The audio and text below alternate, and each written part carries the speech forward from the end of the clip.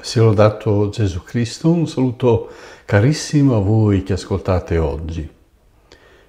Gesù pone una divisione, una divisione che è una condizione.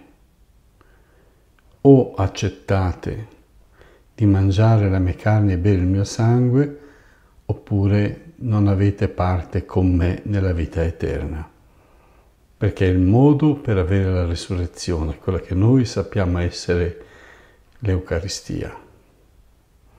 Ma perché mangiare il suo corpo e la sua carne e bere il suo sangue?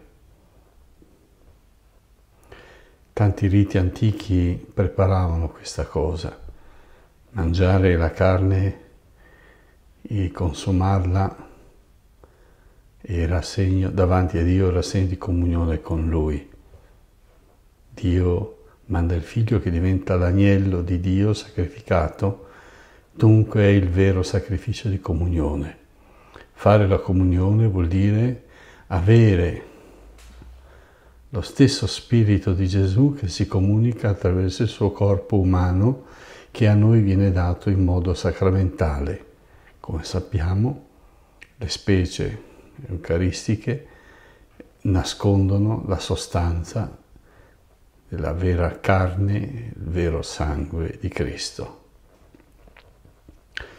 Perché è così necessario? È un mistero molto profondo e difficilmente arriviamo fino in fondo. Viene paragonato l'unione tra Dio e l'anima dell'uomo a un'unione sponsale. Chiaramente la carne è un segno, ma anche un modo per poter significare un'unione spirituale. L'unione spirituale di Gesù capo con la Chiesa che è il corpo, è il vero grande matrimonio. San Paolo dice, parlando del matrimonio fra uomo e donna, in riferimento a Cristo e alla Chiesa.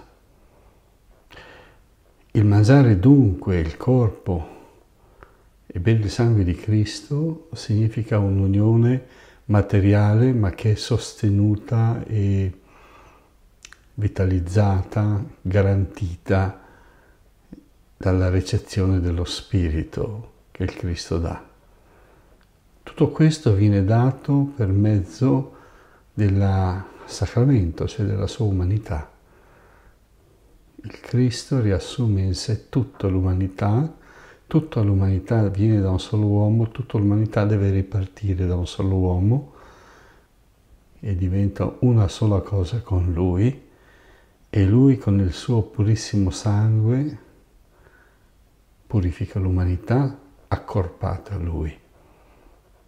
Il significato non è solo ideale, è molto molto concreto, ma questa è la, la pregnanza del sacramento. L'azione dello Spirito di Dio si compie attraverso la materia che viene sacralizzata e dunque santificata. Come in Adamo tutti abbiamo peccato, così in Cristo tutti siamo salvati. Occorre dunque una incorporazione con Lui. La carne non giova nulla, dice Gesù, è lo Spirito che salva, è lo Spirito che trasfigura il nostro corpo, è lo Spirito che ci fa risorgere e ci dona un corpo spirituale superiore a quello che noi abbiamo ora. Ma per condividere la risurrezione del Cristo occorre condividere il suo corpo che viene sacrificato e dunque noi siamo sacrificati in Lui. Il nostro peccato è consumato in Lui.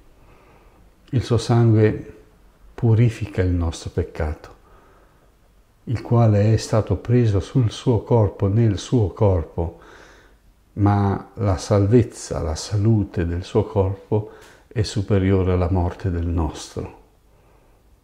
Fare la comunione dunque vuol dire lasciarci purificare, santificare, trasfigurare e dunque risorgere dal sangue e dal corpo di Cristo, noi ne siamo parte.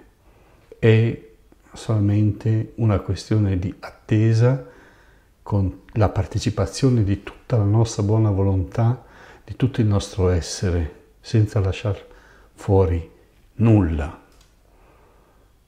Il poco che siamo, il poco che diamo, deve essere il tutto di noi. E la nostra goccia è nell'immensità di Dio, dell'uomo Dio. Dio vi benedica.